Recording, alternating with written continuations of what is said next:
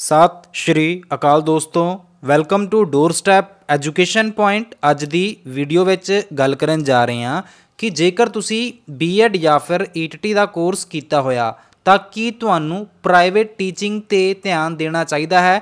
Private school ਦੀ ਮੈਂ ਗੱਲ ਕਰ ਰਿਹਾ ਕਿ ਜਿੱਥੇ ਆਪਾਂ ਟੀਚ ਕਰਦੇ ਹਾਂ, ਜਾਂ ਫਿਰ ਸਾਨੂੰ ਸੈਲਫ ਸਟੱਡੀ ਕਰਨੀ ਚਾਹੀਦੀ ਹੈ, ਤਾਂ ਜੋ ਅਸੀਂ ਫਿਊਚਰ ਵਿੱਚ ਗਵਰਨਮੈਂਟ ਟੀਚਰ ਬਣ ਸਕੀਏ। ਵੈਸੇ ਤਾਂ ਕਾਫੀ ਕਾਮਨ ਕੁਐਸਚਨ ਹੈ ਬਟ ਫਿਰ ਵੀ ਆਪਣੇ ਅੰਦਰ ਕਨਫਿਊਜ਼ਨ ਰਹਿੰਦੀ ਹੈ ਕਿ ਸਾਨੂੰ ਕਰਨਾ ਕੀ ਚਾਹੀਦਾ। ਬਟ ਜੇਕਰ ਕੋਈ ਥਰਡ ਪਰਸਨ ਸਾਨੂੰ ਸੁਜੈਸ਼ਨ ਦੇ ਦੇਵੇ, ਤਾਂ ਸਾਨੂੰ ਪੱਕਾ ਹੋ ਜਾਂਦਾ ਕਿ ਜਿਹੜਾ ਅਸੀਂ ਕੰਮ ਕਰ ਰਹੇ ਹਾਂ, ਉਹ ਸਹੀ ਹੈ। ਸੋ ਵੀਡੀਓ ਦੀ ਸ਼ੁਰੂਆਤ ਕਰਨ ਤੋਂ ਪਹਿਲਾਂ ਚੈਨਲ ਨੂੰ ਸਬਸਕ੍ਰਾਈਬ ਜ਼ਰੂਰ ਕਰ ਦਿਓ। ਸੋ ਗੱਲ ਕਰਦੇ ਹਾਂ ਕਿ ਪ੍ਰਾਈਵੇਟ ਟੀਚਿੰਗ ਕਰੀਏ ਜਾਂ ਫਿਰ ਸੈਲਫ ਸਟੱਡੀ ਨਾਲ ਗਵਰਨਮੈਂਟ ਜੌਬ ਦੀ ਜਿਹੜੀ ਤਿਆਰੀ ਹੈਗੀ ਹੈ ਗਵਰਨਮੈਂਟ ਟੀਚਰ ਦੀ ਜਿਹੜੀ ਤਿਆਰੀ ਹੈਗੀ ਹੈ, ਸਾਨੂੰ ਉਹ ਕਰਨੀ ਚਾਹੀਦੀ ਹੈ। ਸੋ ਸਭ ਤੋਂ ਪਹਿਲਾਂ ਪਰਸਨ ਟੂ ਪਰਸਨ ਕੁਝ ਗੱਲਾਂ ਵੈਰੀ ਕਰਦੀਆਂ ਨੇ। ਜਿਵੇਂ ਹੋ ਸਕਦਾ ਕਿਸੇ ਨੂੰ ਫਾਈਨੈਂਸ਼ੀਅਲੀ ਬਹੁਤ ਜ਼ਿਆਦਾ ਜ਼ਰੂਰਤ ਹੋਵੇ ਨੌਕਰੀ ਦੀ, ਤਾਂ ਉਹ ਪਰਸਨ ਕੀ ਕਰੂਗਾ? ਟੀਚਿੰਗ ਕਰੂਗਾ। ਐਂਡ ਉਸ ਦੇ ਨਾਲ ਨਾਲ ਸੈਲਫ ਸਟੱਡੀ ਵੀ ਕਰੂਗਾ। ਬਟ ਹੋ ਸਕਦਾ ਕੋਈ ਇਹੋ ਜਿਹਾ ਪਰਸਨ ਵੀ ਹੋਵੇ, ਜੇਕਰ ਉਹ ਪ੍ਰਾਈਵੇਟ ਟੀਚਿੰਗ ਨਾ ਵੀ ਕਰੇ ਤਾਂ ਵੀ ਉਹਦੇ ਘਰੇ ਸਰ ਜਾਣਾ ਆ। ਸੋ ਉਸ ਪਰਸਨ ਨੂੰ ਤਾਂ ਡੈਫੀਨੇਟਲੀ ਆਪਦੇ ਪੇਪਰ ਦੀ ਤਿਆਰੀ ਕਰਨੀ ਚਾਹੀਦੀ ਹੈ। ਭਾਵੇਂ ਤੁਸੀਂ ਸੈਲਫ ਸਟੱਡੀ ਕਰੋ, ਭਾਵੇਂ ਤੁਸੀਂ ਕੋਚਿੰਗ ਲਓ। ਕਿਉਂਕਿ ਜਦੋਂ ਅਸੀਂ ਗਵਰਨਮੈਂਟ ਜੌਬਸ ਦੇ ਲਈ ਅਪਲਾਈ ਕਰਦੇ ਹਾਂ ਜਾਂ ਫਿਰ ਗਵਰਨਮੈਂਟ ਟੀਚਰ ਬਣਨ ਦੇ ਲਈ ਅਪਲਾਈ ਕਰਦੇ ਹਾਂ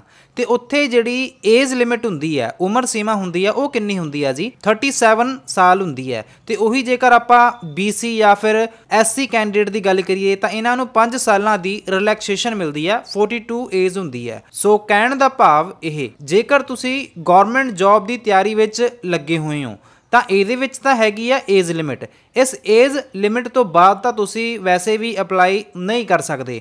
ਬਟ ਜੇਕਰ ਆਪਾਂ ਪ੍ਰਾਈਵੇਟ ਸੈਕਟਰ ਦੀ ਗੱਲ ਕਰੀਏ, ਤਾਂ ਪ੍ਰਾਈਵੇਟ ਸੈਕਟਰ ਦੇ ਵਿੱਚ ਤਾਂ ਕੋਈ ਏਜ ਲਿਮਿਟ ਨਹੀਂ ਹੈਗੀ। ਸੋ ਜੇਕਰ ਉੱਥੇ ਏਜ ਲਿਮਿਟ ਨਹੀਂ ਹੈਗੀ, ਤਾਂ ਸਾਨੂੰ ਪ੍ਰਾਈਵੇਟ ਕੋਚਿੰਗ ਛੱਡ ਕੇ ਜਾਂ ਫਿਰ ਪ੍ਰਾਈਵੇਟ ਸਕੂਲ ਦੇ ਵਿੱਚ ਜਿਹੜਾ ਆਪਾਂ ਟੀਚਿੰਗ ਦਾ ਕੰਮ ਕਰ ਰਹੇ ਹਾਂ, ਕਿਉਂਕਿ ਸਾਰਾ ਦਿਨ ਆਪਾਂ ਉੱਥੇ ਲੱਗੇ ਰਹਿੰਦੇ ਆ ਜਿਵੇਂ ਹੁਣ ਗਰਮੀਆਂ ਚੱਲ ਰਹੀਆਂ ਨੇ ਤੇ ਸਕੂਲ ਦੀ ਜਿਹੜੀ ਟਾਈਮਿੰਗ ਹੈਗੀ ਆ, ਉਹ ਕੀ ਹੈ ਜੀ? 8 ਵਜੇ ਤੋਂ ਲੈ ਕੇ ਹੈਗੀ ਹੈ ਜੀ 2 ਵਜੇ ਤੱਕ। ਤੇ ਇਹਨਾਂ 6 ਘੰਟਿਆਂ ਦੇ ਵਿੱਚ ਤੁਸੀਂ ਥੱਕ ਵੀ ਜਾਂਦੇ ਹੋ। ਸਾਰੀ એનર્ਜੀ ਤੁਹਾਡੀ ਸਕੂਲੇ ਲੱਗ ਜਾਂਦੀ ਹੈ। ਹੋ ਸਕਦਾ ਤੁਹਾਨੂੰ ਪ੍ਰਾਈਵੇਟ ਸਕੂਲ ਵਾਲੇ ਘਰ ਦਾ ਕੰਮ ਕਰਨ ਲਈ ਵੀ ਦੇਣ। ਜਿਹਦੇ ਵਿੱਚ ਕਾਫੀ ਸਾਰੀਆਂ ਚੀਜ਼ਾਂ ਹੋ ਸਕਦੀਆਂ ਨੇ। ਸਟੂਡੈਂਟ ਤੋਂ ਰਿਲੇਟਡ ਕੰਮ ਹੋ ਸਕਦਾ ਆ। ਤੁਸੀਂ ਹੋ ਸਕਦਾ ਕੁਐਸਚਨ ਪੇਪਰ ਤਿਆਰ ਕਰਨਾ ਹੋਵੇ ਜਾਂ ਫਿਰ ਕੋਈ ਅਸਾਈਨਮੈਂਟ ਜਾਂ ਫਿਰ ਤੁਸੀਂ ਆਪਦੀ ਟੀਚਰ ਡਾਇਰੀ ਬਣਾਉਣੀ ਹੋਊਗੀ। ਸੋ ਇਹਨਾਂ ਕੰਮਾਂ ਨੂੰ ਕਰਦੇ ਕਰਦੇ ਤੁਹਾਡਾ ਸਾਰਾ ਦਿਨ ਨਿਕਲ ਜਾਂਦਾ ਤੇ ਜਿਹੜਾ ਟਾਈਮ ਤੁਸੀਂ ਆਪਦੀ ਤਿਆਰੀ ਨੂੰ ਦੇਣਾ ਸੀ, ਉਹ ਤੁਸੀਂ ਦੇ ਨਹੀਂ ਪਾਉਂਦੇ, ਜਿਹਦੇ ਕਰਕੇ ਤੁਹਾਡਾ ਜਿਹੜਾ ਨੁਕਸਾਨ ਹੈਗਾ ਜੀ ਕਾਫੀ ਹੋ ਜਾਂਦਾ ਆ।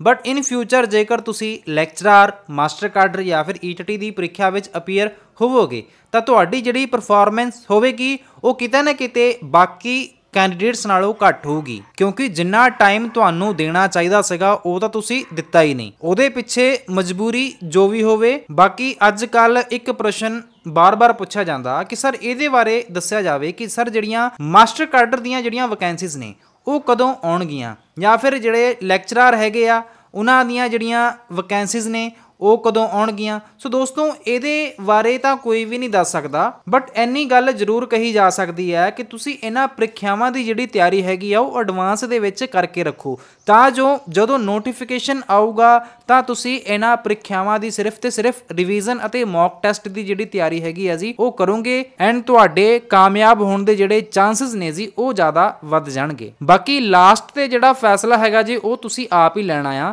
ਕਿ ਸਾਨੂੰ ਪ੍ਰਾਈਵੇਟ ਟੀਚਿੰਗ ਕਰਨੀ ਚਾਹੀਦੀ ਹੈ ਜਾਂ ਫਿਰ ਸਾਨੂੰ ਘਰੇ ਰਹਿ ਕੇ ਸਟੱਡੀ ਕਰਨੀ ਚਾਹੀਦੀ ਹੈ ਜਾਂ ਫਿਰ ਕੋਈ ਕੋਚਿੰਗ ਲੈਣੀ ਚਾਹੀਦੀ ਹੈ? ਇਹ ਕੁਐਸਚਨ ਆਪਣੇ ਕਿਸੇ ਯੂਜ਼ਰ ਨੇ ਪੁੱਛਿਆ ਸੀਗਾ, ਸੋ ਮੈਨੂੰ ਲੱਗਿਆ ਕਿਉਂ ਨਾ ਇਸ ਟੌਪਿਕ ਤੇ ਵੀਡੀਓ ਬਣਾ ਦਿੱਤੀ ਜਾਵੇ ਤਾਂ ਜੋ ਕਾਫੀ ਸਾਰੇ ਸਾਥੀਆਂ ਨੂੰ ਇਸ ਵੀਡੀਓ ਤੋਂ ਮਦਦ ਮਿਲ ਸਕੇ ਐਂਡ ਜਿਹੜੀ ਕਨਫਿਊਜ਼ਨ ਉਹਨਾਂ ਦੇ ਦਿਮਾਗ ਵਿੱਚ ਹੈਗੀ ਆ ਹੋਪ ਸੋ ਉਹ ਵੀ ਕਲੀਅਰ ਹੋ ਗਈ ਹੋਣੀ ਆ। ਜੇਕਰ ਵੀਡੀਓ ਪਸੰਦ ਆਈ ਹੋਵੇ ਤਾਂ ਵੀਡੀਓ ਨੂੰ ਲਾਈਕ ਕਰਿਓ ਚੈਨਲ ਨੂੰ ਸਬਸਕ੍ਰਾਈਬ ਕਰਿਓ।